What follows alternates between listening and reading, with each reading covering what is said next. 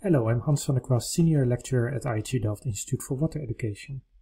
Today in the QGIS Open Day, I learned in a session hosted by QGIS Brazil from Sydney Govea how to do kriging in QGIS.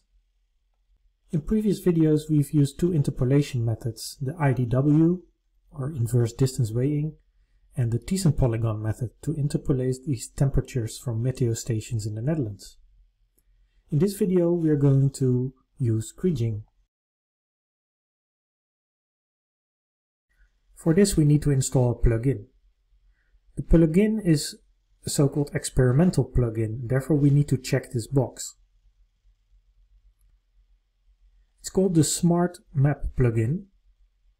In order to install it we need to install scikit-learn in Python in the OSGeo4W shell. we open the location of the OSGeo4W shell and then we click right on it to run it as an administrator.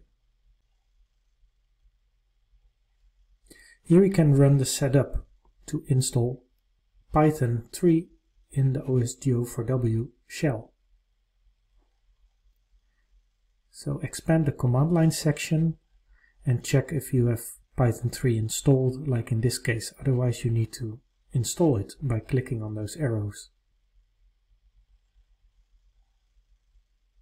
I already did that, so I'm aborting this. Now I need to start the Python 3 environment by typing py3 underscore env, and now I can use Python.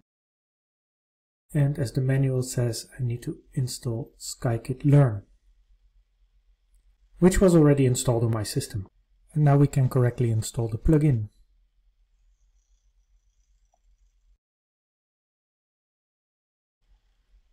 Now we have this icon to start the plugin interface and you can define here the output folder where the raster layers of the interpolation will be saved. And as an input layer I use my stations and I choose the temperature field and I click import to import the table. And here we see a graphical result of that and I can define here the output pixel size. I'll put it on one kilometer. Then I go to the interpolation tab and there I can get the semivariogram which it calculates from the points. And I can change the settings such as the lag and I can change the different experimental variogram models. This is an advantage over other kriging tools that are in uh, QGIS because you need to fit a variogram to these points. So you need to have this graphical fitting window that we have here, which is very useful. We can graphically see what happens if you change the parameters. It also gives you the RMSE and the R-square of the fit. When you click interpolate, it will do the interpolation. It will take some time. And here's the interpolation result. It adds it to the layers panel and it's stored in the folder. And we have this uh, figure that is presented here. And if you click on it, it opens the picture and then you can also save the picture.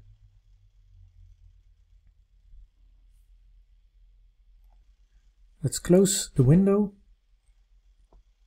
and I copy the style from the others, drag it to the top and there we see our interpolation result. Keep in mind that for kriging you need a lot of points because it needs to calculate the lag distance to get the spatial autocorrelation. So it's always the question which interpolation method works best with your dataset. It's not that the most sophisticated one gives the best results.